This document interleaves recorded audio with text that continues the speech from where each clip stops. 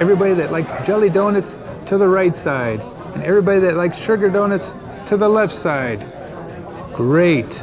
We separated you into two equal groups. Hey, welcome to another show. Today we're going to be talking about division and how to separate into equal groups. Our first mission of the day is we need to take eight counters and put them into two equal parts. Okay? So, first of all, what is a counter? A counter is anything that you can count. You can use paper clips, blocks. I'm using these foam hexagons.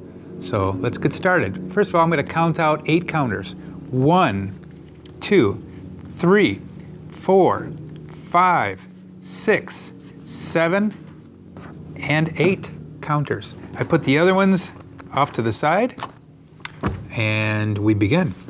So eight counters into two equal groups. So I'm going to use these two plastic bowls and this will be a group and this will be a group. I have one group, two groups. So I need to divide these counters into two equal groups. So I simply go one, two, three, four, five, six, seven, eight. I now divided equally two groups of counters.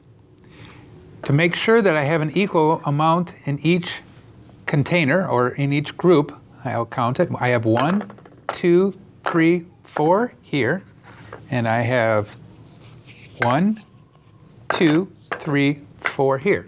Equal groups. So, what I have here is I have eight counters divided into two equal groups. Eight divided by two would equal four. I have four in each group. All right, mission two. I have eight counters and I need to divide those into four equal groups. All right, so I will lay them out on the desk and we will start counting. I want to make sure that I have eight counters. First of all, I have one, two, three, four, five, six, seven, eight. So let's put those into four equal groups. You can use bowls, you can use boxes, you could use rings, or we can just simply try to imagine that there's a ring here. There's one group, two groups, three groups, four groups. Now what I'm going to do is since I have my four groups here, I'm going to put this one here. So there's another one, another one, another one, another one. I make sure that it's equal. Each group has two in it. One, two, one, two, one, two. So I had eight counters. I needed to divide those into four equal groups. So eight divided by four would equal 2. So in each group, there are two counters. Next mission, I need to do 10 divided by 2. I need to take 10 counters and put them into two equal groups. All right, so first of all, I'm going to get 10 counters.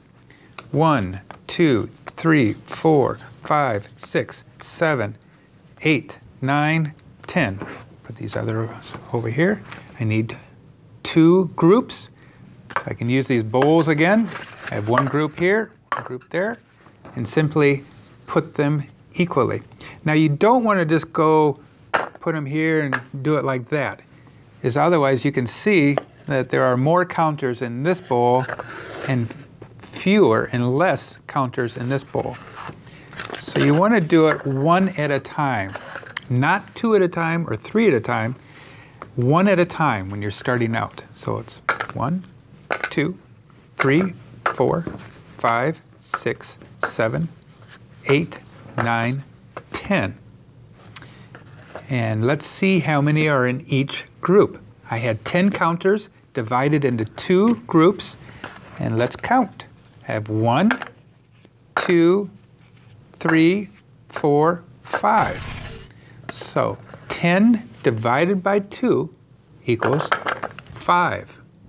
Let's say I have 14 cars right here. I need to divide those into two groups. So let's take, make two groups, all right? And now I take the 14 cars and I'm going to separate those equally. All right, there's one, two, three, four, five, six, seven, eight, nine, 10, 11, 12, 13, 14. Can you see how many are in each group? That's right, there are seven cars in each group. This time, let's use some blocks. All right, we have 12 blocks, and I'm going to separate those into three equal groups. One, two, three, four, five, six, seven, eight, nine, 10, 11, 12. Can you see how many blocks are in each group? Let's count them. One, two, three, four. That's correct.